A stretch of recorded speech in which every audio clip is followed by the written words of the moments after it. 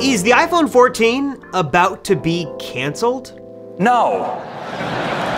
Thanks, Greg. Couldn't have said it better myself. But while the iPhone 14 is safe for now, what about these other Apple products launching very soon that might just totally replace your iPhone altogether? In this video, let's break down some of Apple's top secret products that are going to eventually replace the iPhone. These projects have been in the works for years and years and are finally going to launch very soon. It might be time to say goodbye to your iPhone and say hello to the future that's coming a lot sooner than you may think. Get ready because everything is about to change.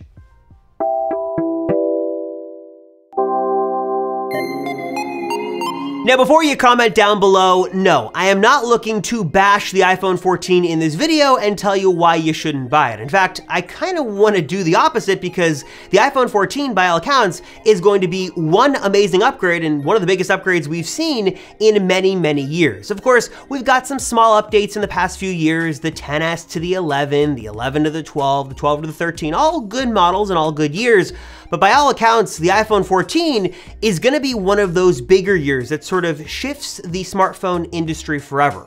Think iPhone 3GS to iPhone 4, the 7 to the 10, the 12 to the 13's got nothing on what's gonna happen between the 13 and the 14. And speaking of the iPhone 4, one of the biggest changes coming to the iPhone 14 is the design itself, very heavily inspired by that 2010 design of Apple's iPhone 4. Think industrial design, boxy edges, squared off corners, circular volume buttons, even that speaker mesh on the bottom near the lightning port.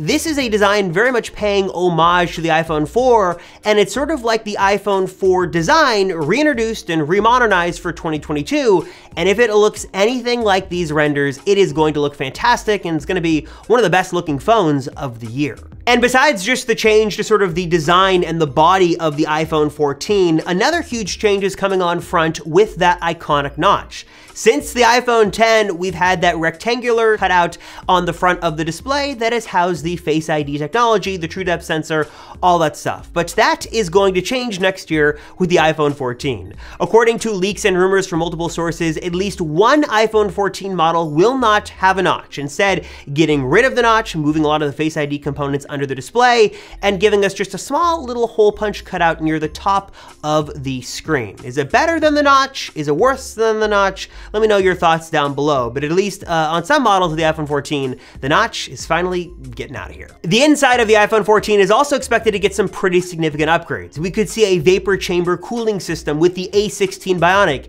a 48 megapixel main camera capable of 8K video recording, a new periscope zoom lens technology for the telephoto lens, and also something we haven't seen before, a totally new iPhone model that gives us something all new. Now, the last time Apple gave us an all new iPhone model and size was with the 12 mini back in 2020. And for one reason or another, or for multiple reasons, it doesn't look like the mini iPhone is sticking around. There was the 12 mini and the 13 mini, but there will not be an iPhone 14 mini. There will be four iPhone 14 models, and the lineup is gonna look a little something like this. There's gonna be a 6.1 inch iPhone 14, a 6.1 inch iPhone 14 Pro, a 6.7 inch iPhone 14 Pro Max, and a 6.7 inch iPhone 14 Max. So yes, there will be two smaller phones and two bigger phones, one regular and one Pro for both sizes. So if you are a fan of sort of the largest screen iPhone possible, but you don't need all the bells and whistles of the triple camera setup, you don't need promotion and all that stuff, and you're looking to save some money, the iPhone 14 Max might just be the perfect phone for you, coming very soon in 2022.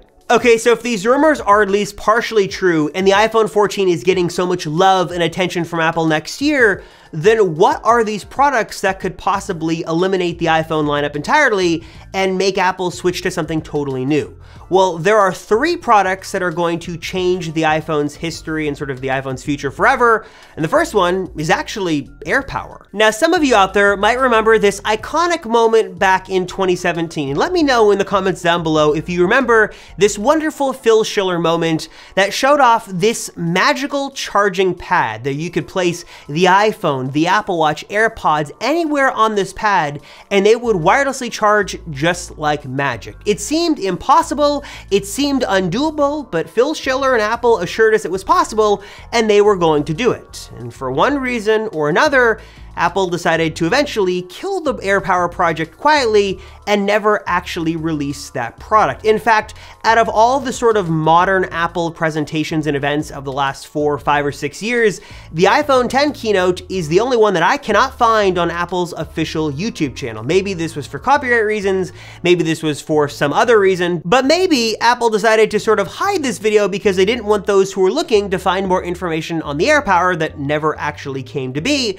Maybe it's just sort of a weird conspiracy theory, but just something I thought was a little odd. Nevertheless, though, although the original concept of AirPower might have met its demise, the actual sort of magical idea of AirPower, this really cool wireless charging technology, still lives on even today inside of those secretive labs in Cupertino. And according to Mark Gurman over at Bloomberg, Apple is still continuing to research and develop multiple types of really futuristic sounding wireless charging technology that will totally change the way you use your future iPhone and other Apple devices. According to the report, Apple is testing multiple methods of short and long distance wireless charging technologies. This could be like putting your iPhone on some kind of AirPower like pad or reverse wireless charging AirPods or uh, Apple Watch off of the back of your iPhone. Or if we're talking longer distances, maybe this is the idea of you walking into a special room and your phone just charging automatically. It sounds like the work of fiction and like it's some kind of sci-fi technology, but it might just become more more reality uh, than we might have originally thought if Apple can actually make it happen. They're working on it, so let's see if it actually becomes, well, real. Now, while AirPower might change the way you use your iPhone, these next two products will totally change the iPhone forever and might just cause many of you to ditch the phone completely. That is, of course, because Apple is going to introduce two new revolutionary, groundbreaking products. That is the mixed reality AR VR headset and the long-awaited, long-rumored Apple glasses. Now to keep it brief, these are two products that we need to sort of talk about separately. One is this mixed reality Oculus Quest looking AR VR headset that's a little more expensive and a little bit more rough around the edges, more for the enthusiasts than the mass market. And the other is really made for consumers, it's made for everyone, it's more affordable, it's sleek and simple, and maybe looks a little something like this, where you have little uh, gesture pad areas and little cameras built in for your super sleek futuristic Apple glasses come in in maybe 2025. But what's supposed to be coming much sooner is this Apple mixed reality headset. Again, it looks like an Oculus Quest. It's filled with two high resolution 8K displays, lots of cameras and sensors, eye tracking technology, and according to rumors, an Apple Silicon chip inside that is more powerful than the M1 chip in the iPad Pro and some Mac models. This is going to be one of those revolutionary products that should change everything. Like the iPod changed MP3 players, like the iPhone changed phones, the iPad changed tablets, you sort of get the idea. According to those familiar with the project, analysts and others in the rumor mill, this is gonna be one of those groundbreaking products that changes everything. And once Apple finally releases this mixed reality headset, the tech world and your phone is never gonna be the same again. Now the details on this are still a little murky. We've heard some talk of components and what it can do, what it can't do. It's gonna have an app store, all this stuff. Um, but a lot of the details again are still unclear. But what we are hearing from multiple sources is that this mixed reality headset should be launching in 2022. So this is actually coming sooner than later and will finally become reality. Apple has been working very hard on this. They've sort of been laying the groundwork on this for years and years. And right now we know this reality headset is not gonna be very cheap, probably around or north of $2,000. So the future is not gonna be inexpensive, but if you've been sort of waiting to try Apple's next big thing, this should be coming really soon, maybe in just a matter of months, maybe as soon as WWDC. And then of course, after the headset gets into the hands of consumers and developers and people really sort of get to experience Apple's idea for this future, that's when we move on to the next thing. These are the Apple glasses. And if they look anything like these concept videos, it is going to be absolutely amazing. You sort of have this digital information overlaid in your real world. You can see weather, you can see stocks, all this stuff looks super cool. And again, this is the more affordable, more mass market solution that might just totally replace the iPhone. This will be untethered, so you don't have to have an iPhone. You can do basically everything you'd want to do on your iPhone on these glasses. The future is still a little unclear, and it doesn't really seem apparent as to uh, sort of every change this is going to bring with it. Um, but this should be one of, again, those paradigm shifting moments that changes everything and should sort of eliminate the iPhone and really change Apple's direction from the iPhone to smart glasses, at least according to analysts. And last but certainly not least, another product that might just change the iPhone forever, at least how you think of the iPhone, is a folding iPhone. Now, we've heard rumors that Apple is working on this folding iPhone that's going to give us this cutting edge technology. It's a smaller iPhone that opens up to this larger display. And we had heard rumors that it was in sort of various stages of development and we could see it in 2023, or at least as early as 2023. But what if Apple decided to change things even more?